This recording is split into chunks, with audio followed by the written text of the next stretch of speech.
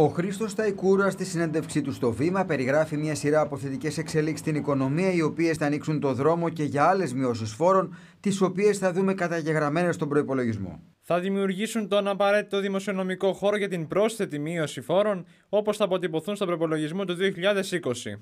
Συγκεκριμένα αναφέρεται μεταξύ άλλων σε αύξηση του ρυθμού μεγέθυνσης της οικονομίας, στην πλήρη άρση των capital control, στη δημοσιονομική πειθαρχία, την ενίσχυση των ηλεκτρονικών συναλλαγών, τη ρύθμιση των ληξιπρόθεσμων οφειλών και στις συμπράξεις ιδιωτικού και δημόσιου τομέα. Λέει μάλιστα ότι η κυβέρνηση θα δώσει προτεραιότητα στην ενίσχυση του πετρελαίου θέρμανσης. Το 2019 πιάνουμε με ασφάλεια τον στόχο του 3,5% του ΑΕΠ πρωτογενές πλεόνασμα. Αν υπάρξει επιπλέον δημοσιονομικός χώρος, προτεραιότητά μας είναι ανάλογα και με τις εξελίξεις να ενισχύσουμε το επίδομα πετρελαίου θέρμανσης. Παράλληλα, λέει πως βήμα-βήμα η κυβέρνηση θα μειώνει φορολογικά βάρη, επισημένοντας ότι ήδη όλοι και κυρίως οι ασθενέστεροι έχουν επωφεληθεί. Με τα μέτρα που υλοποιούμε, όλα τα εισοδηματικά στρώματα έχουν κέρδη διαθέσιμου εισοδήματος, αλλά αυτά τα κέρδη είναι σε ποσοστό μεγαλύτερα στα χαμηλότερα κλιμάκια. Μιλώντας με νούμερα, αναφέρει ότι για δηλωθέντα εισοδήματα έως 8.500 ευρώ η συνολική φορολογική επιβάρυνση μειώνεται κατά μέσο όρο 20%, ενώ σε εισοδήματα άνω των 26.000 ευρώ η αντίστοιχη μείωση είναι μονοψήφια.